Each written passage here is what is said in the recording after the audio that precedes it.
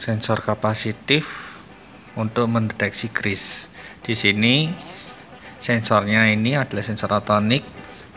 Sudah saya kasih grease, tapi dia tidak kedetek.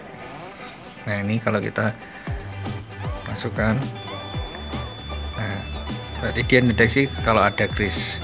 Kalau dia lama-lama habis, dia sudah tidak kedetek.